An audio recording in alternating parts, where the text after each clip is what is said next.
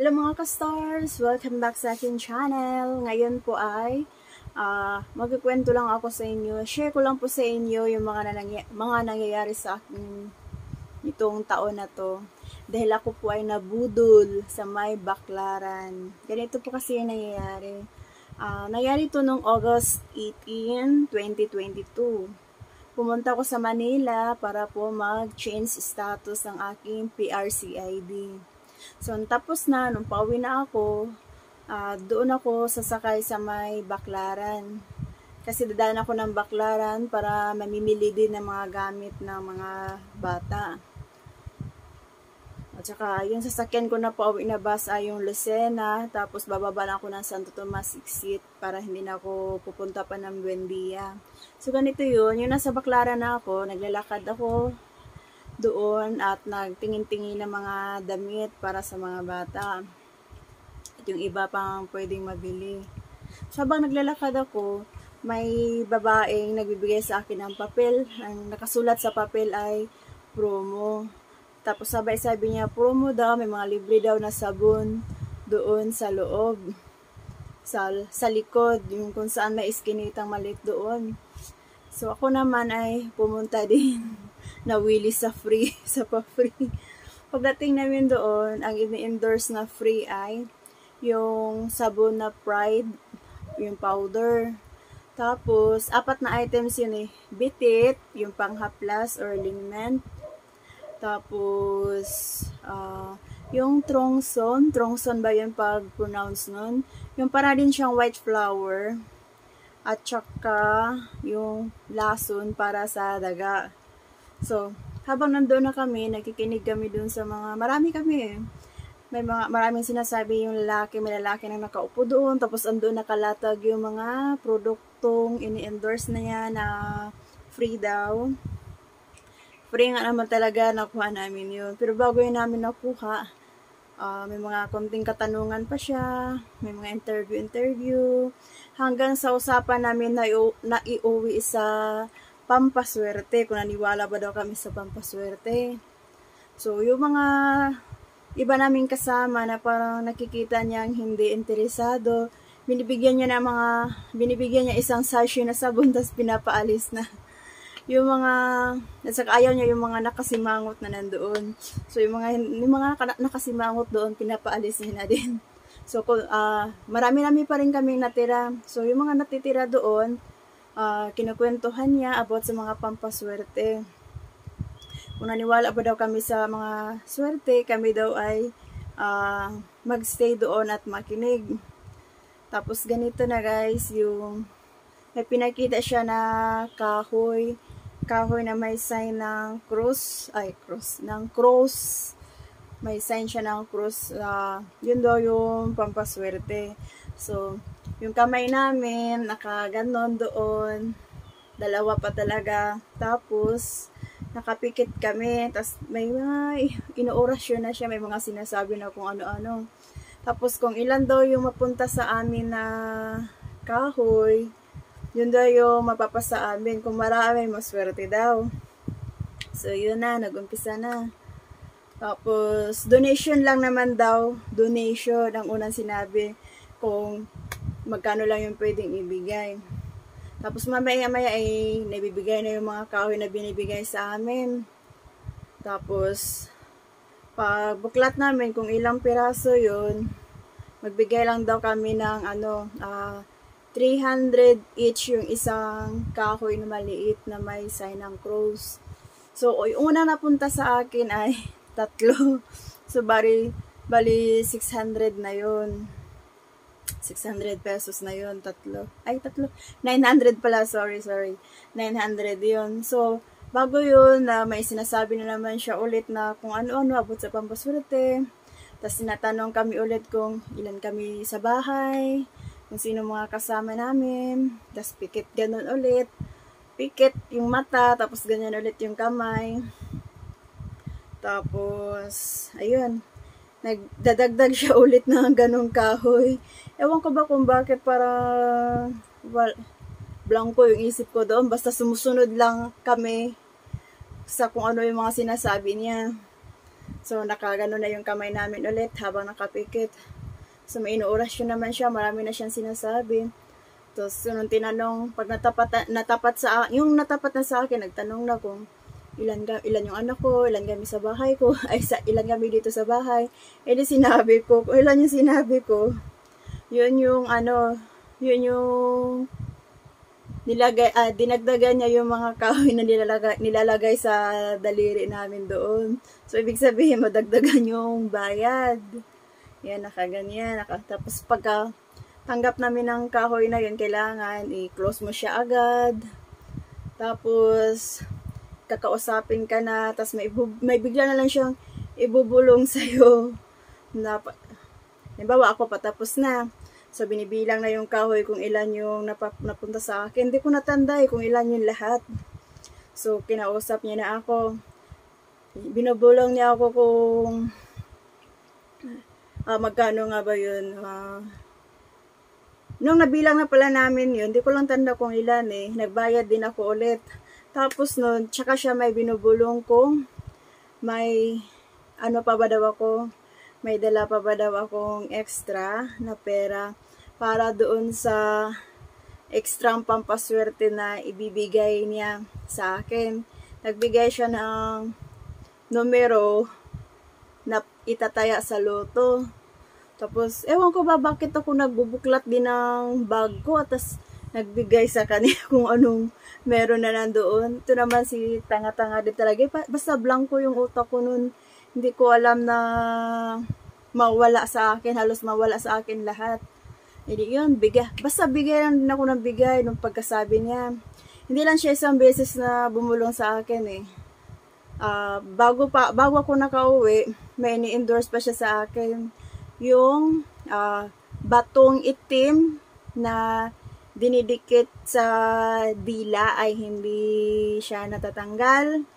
Yun daw yung gamot daw pag nakagat ka ng rabies, ay, nakagat ka ng rabies, sorry.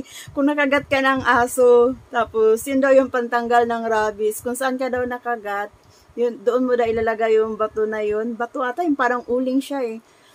Doon daw ilalagay yung bato na yun sa sugat. Para yun na daw yung magsisipsip sa ano, rabies. Hindi ko lang alam kung totoo yun na basta ako ay tiwalang tiwala sa kanya ng mga panahon na yun at naniniwala. Tapos noon, may binulong na naman siya ulit sa akin na ganito daw yung presyo noon. So, nagbibigay na naman ako hanggang sa tinanong niya ako kung saan nagtrabaho si mister ko. Ewan ko basta parang, kasi nga swerte yan pinupunta ko doon. So uh, honest tayo sa mga isasagot natin sa kanya. so yun, naikwento ko na sa kanya kung ano, nagbulong siya ulit na baka daw may extra ano na dala ko na naman na para doon. Uh, pandagdag sa donation na yon ayun nagbigay na naman ako ulit nung paalis na ako hindi ko na namalayan kung magkano na lang yung natira sa akin kasi yung kada tanong niya ayun labas ako ng labas ng ano sinasabi niya hanggang sa natira na lang sa akin mga barya-barya na lang ata yun, 50 pesos na lang. O, oo nga, nasa 50 pesos below. Sabi ko, hela, wala na akong ano. Kasi may hiningi pa siya ulit eh. Uh, pampad, yung sa binibigay niya na ano, na number sa loto, maliban doon, meron pa yung ano, isang bato na idadagdag pa sa akin maliban sa mga ibang bato na natatanggap ko. Sabi niya, para daw extra. Baka daw may kapatid pa ako or kamag-anak na bibigyan. Sabi ko ay walang-wala na po talaga. hindi na, sabi ko sa Batangas pa po ako uuwi. Hindi ako maka, baka hindi na ako makauwi. Kasi ito na lang pala yung natira ng pe, sa pera ko. Ayun, binig, binalik sa akin yung 70 pesos pamasahe. binigyan ako ng 70 pesos pa. O at least binigyan pa rin ako ng 70 pesos na pampasay. Pero guys, doon sa, nung nakauwi na ako, ah, hindi pa pala, yung nakuha ko na din yung mga items nung pauwi na ako. Ano lang yun eh, uh, tatlong sachet na Pride na powder at saka tigi isang item nung trongson at saka bitit at saka yung pa, lason para sa daga. Yun, nakuha ko yun. Pero, hindi naman yun na maabot ng ano, di ba? Mga 1,000. Hindi yun. Pag uwi ko, nang nakasakay na ako sa bus para nung pauwi pa lang ako. Doon ako nag-iisip. Sabi ko, saan napunta yung pera ko? Guys, 7,000 yung dala kong pera. Nabawasan man yun konti lang kasi wala naman akong binabayad doon sa PRC kasi nababayad ako online sa change of status ng PRC. Tsaka kung may nagastos mo na ako no, hindi, no, hindi yun umaabot ng 1,000 kahit isasama ko pa yung mga pamasahe ko. So, nasaan? Hindi ko namalaya na ano, kung magkano yung naibigay-bigay ko doon sa kanya. Tapos yung bag ko ay nakabukas. Nakabukas siya. So, nabudol nga. Kung hindi ko man naibigay sa kanya yung lahat doon, inandoon lang din yung dumudukot ng aking ano, pera. Kasi yung bag ko ay maliit lang naman siya na bag. Tapos yung pera ko na ginagamit, doon lang talaga nakalagay sa ano, sa harap. Pero naka may zipper naman. Isa pagbukas ko ng bukas siguro. Ayun. Baka nun habang nakapikit kami, may nangalkal na doon sa bag ko na hindi ko namamalayan. Kasi nagulat ako bakit yun na lang ang natira sa akin eh. So, grabe talaga guys. Marami talaga manluloko sa panahon ngayon. Lalo na dyan sa Manila banda. Yun, sa akin, sa Baklaran talaga. At saka yun pala sila guys, uh, kung saan saan natin sila nakapwesto. Kasi naikwento ko doon sa, dito sa sister-in-law ko. Noong high school pa daw siya, so matagal na panahon na at matagal na panahon na, pa sila, na pala silang nanluloko. Doon din sa, dito rin sa Tanawan City sa Batangas.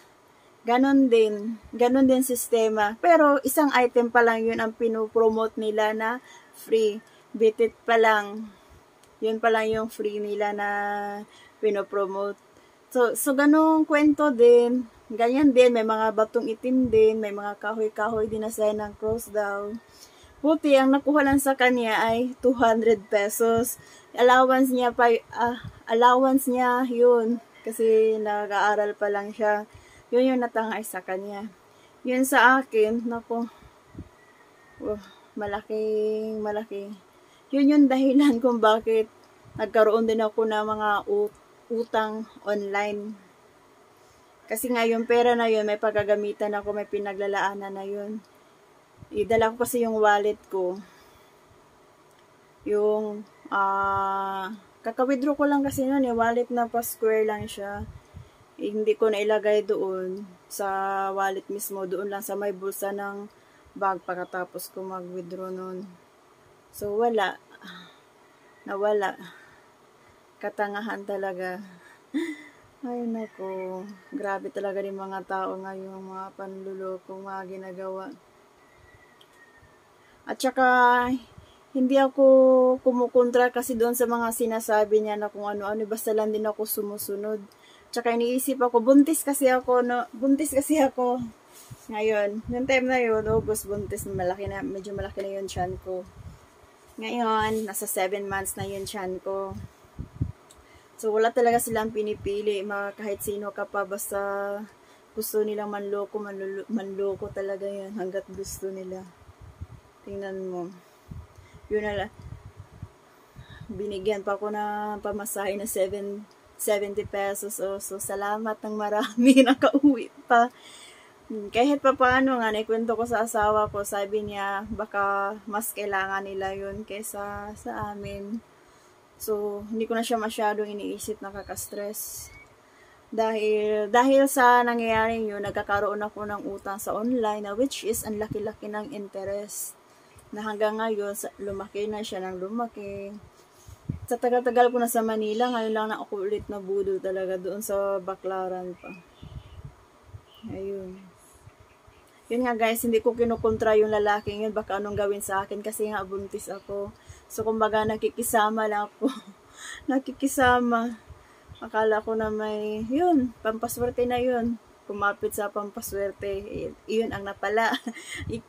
hindi ko na, sabi pa nga niya, yung kahoy na yun, ibigay, ah, ibigay, ilagay ko daw sa may bigasan. Kasi para hindi daw maubusan ng bigas. Hindi naman talaga kami nauubusan ng bigas, awa ng Diyos, kahit dati pa. Eh, yung pampaswerte na sinasabi niya, ah, uh, yung swerte na ano, wala eh. As visual pa rin. Mm-mm, pero yung dagdag swerte, wala. eh, ayun, ayan na si Lord na bahala sa kanya. Again, eh, kapit-kapit tayo sa swerte, yun tuloy na budol. um, anong tawag dito? Nitong huli lang, uh, October 18, nabudol ako, ay, hindi, muntik na ako mabudol na naman. So, ito siya, may, ano, may record ako sa conversation naman. Ibang ano naman yun, sa social media naman yun. Yun po ang iba-vlog ko uh, sa next. Yun yung gagawin ko kung paano at ano yung mga conversation namin.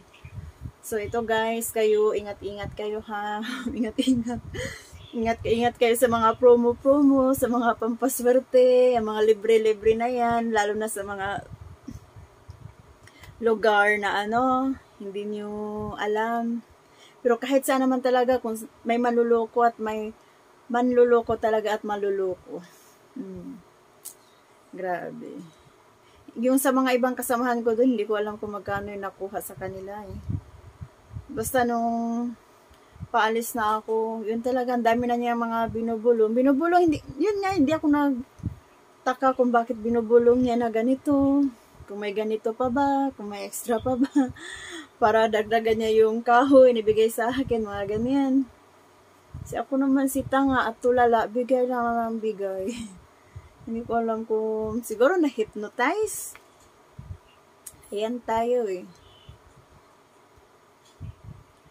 Kasi nung una, nung pumunta ko ng Manila, yung sa first job ko, doon sa Star Mall Alabang, nab nabudod na din ako doon. Yun naman ay cellphone, tas, at saka pera. So, matagal na panahon na din yun, binaan ko sa limot.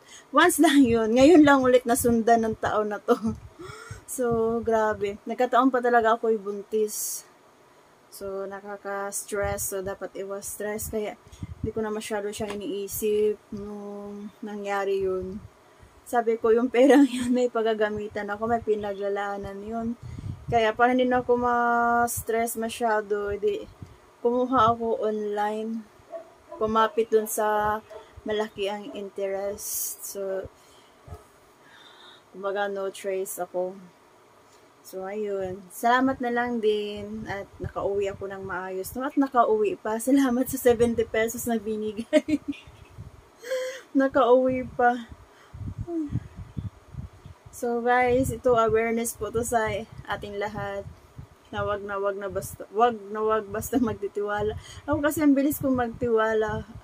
Promise. Ayun. So, wala na tayong magawa. So, na-share ko lang po ito. Baka may, kung saan man kayo ngayon, baka mamaya may mag-i-invite sa'yo na may free dito, may free doon. Tapos ganon, hanggang sa mauwi sa budol-budol, di ba? So, yun lang guys. At saka, ingat po kayo lagi. Mag-ingat po tayo sa mga taong manluloko. Minsan, hindi talaga natin maiwasan na maging biktima tayo, lalo na minsan, lutang ating pag-iisip. Or marami tayong iniisip. Tapos nawili tayo sa kanila mga maganda mga pinagsasabing, ganito, ganyan. Alam nyo na, minsan, uh, hindi naman minsan, uh, madalas talaga sa mga manluloko, magaling yan sila magsalita, magaling yan sila mangakit ng tao, magaling yan sila mag... Uh, may tawag doon eh, na word na yun. Kumbaga, magaling as in expert na expert na sila. Kalain mo matagal na pala yan sila, ngayon lang ngayon lang ako, ngayon ko lang sila na-encounter at parang nabalita na din daw yun dati. So, hindi ko ata nabalita.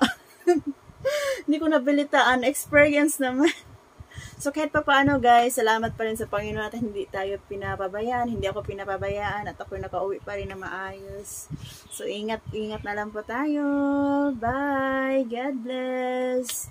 And thank you for watching.